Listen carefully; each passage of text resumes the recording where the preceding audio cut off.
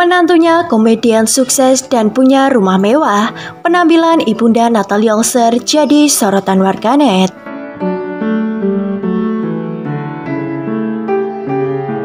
Siapa yang tak kenal dengan sosok Enti Sutisna atau Sule? Ia dikenal sebagai salah satu komedian sukses tanah air. Tidak hanya itu saja, ia juga disebut sebagai salah satu komedian terbaik sekaligus termahal di tanah air. Kemampuannya dalam dunia komedi dan mengundang gelak tawa penonton sudah tak bisa diragukan lagi dari sosok Sule. Selain karirnya yang terbilang moncer, kisah asmara Sule kerap mencuri perhatian netizen. Usai bercerai dengan mendiang Lina Jubaida, ayah Rizky Febian ini menikah dengan Natalia Olser.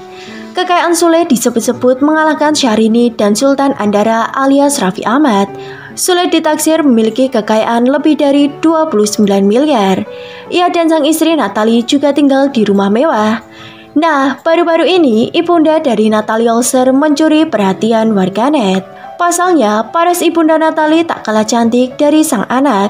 Namun, mertua Sule tersebut telah meninggal dunia. Diketahui, Natali Olser kini sedang menantikan kelahiran buah hatinya bersama Sule. Lewat laman Instagram pribadinya, Natali Olser beberapa kali mengunggah potret keluarga. Nah, pada unggahan di Instagram salah satunya, ia mengunggah sebuah potret nih. Dalam potret tersebut adalah kebersamaannya bersama dengan ibu dan juga neneknya. Diketahui jika ibunda Natali sudah tiada. Dalam unggahnya itu, Natali menutupi wajahnya dengan stiker Aku Mama Oma, tulis Natali Olser. Terlihat para cantik ibunda dan juga nenek Natali. Melihat postingan tersebut, baik netizen yang langsung mengomentarinya. Sampai ketemu sayangku cintaku kangen sekali sama Sule Family and Natali, tulis Gina Holzer. Mamanya Kak Natali cantik banget ya, tulis seorang netizen. Cantik banget ya semuanya, tiga generasi. Saut netizen yang lain. Masya Allah cantik banget kalian, mama dan oma pasti bangga lihat bunda sekarang. Pungkas netizen lainnya.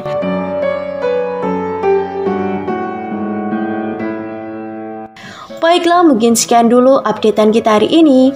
Jangan lupa klik like, subscribe, komen, dan share.